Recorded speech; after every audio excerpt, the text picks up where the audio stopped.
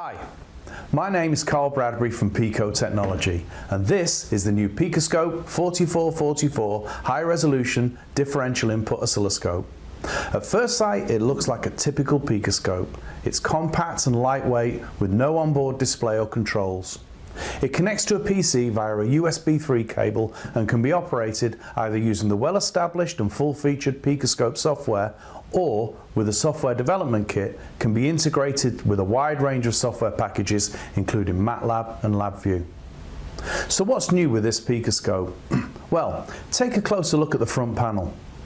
No BNC inputs here. Instead you see four 9-pin D-type connectors which allows the addition of some very useful functionality such as probe power and automatic recognition so the scaling can be set as soon as you connect the probe. But the key difference is provided by two pins that are allocated to differential measurements and this allows the use of low-cost passive differential probes rather than expensive active probes which would normally be used for differential or floating measurements. How many times have you hit the obstacle of not being able to connect your scope probe to a signal that was not referenced to ground? Signals that are floating or differential in nature. Workarounds can be clumsy and other products that address this issue can be expensive. The new Picoscope 4444 addresses this problem in a very cost-effective way with a choice of voltage and current probes that address a wide range of applications. The Pico Connect 441 is a one-to-one -one passive differential probe, good for low-level signals from around 100 microvolts up to plus or minus 50 volts. The Pico Connect 442 is a 25 to 1 passive differential probe, good for measurements up to 1000 volts Cat 3.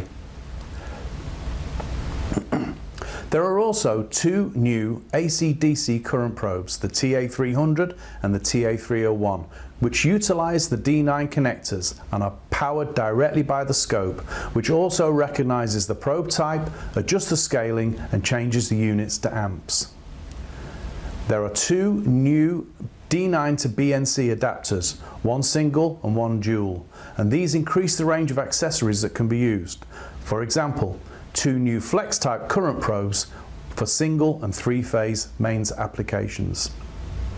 The 4444 is available in a choice of two kits. The standard kit comes with three 50 volt probes and a DN, uh, D9 to BNC adapter and the 1000 volt Cat 3 kit comes with three of the 1000 volt probes and the BNC adapter.